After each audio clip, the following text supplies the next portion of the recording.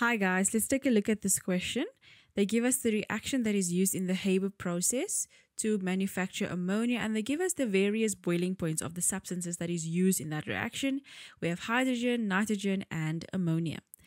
3.1 they want us to refer to the intermolecular forces and explain the difference in the boiling point of ammonia and nitrogen. So we first look at the intermolecular forces, right, between the molecules.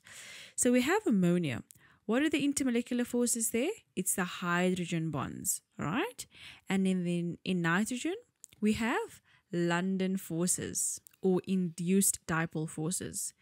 Now we know that hydrogen bonds are stronger intermolecular forces than London forces. Therefore, ammonia will have a higher boiling point than nitrogen. Okay, BP. 3.2. Write on the formula of the substance that will have the lowest melting point. So the lowest melting point will also have the lowest boiling point. And on this graph here, on this table, which has the lowest boiling point? Hydrogen. So the lowest melting point will then also be hydrogen. 3.3.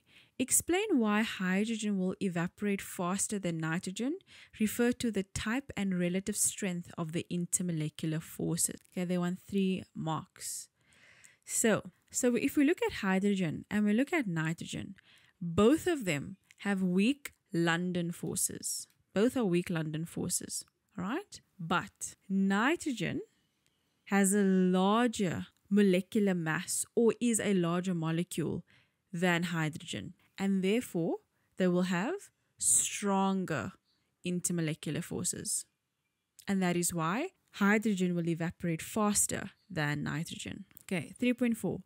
Write on the formula of the substance in the table that will have the highest vapor pressure and explain your answer.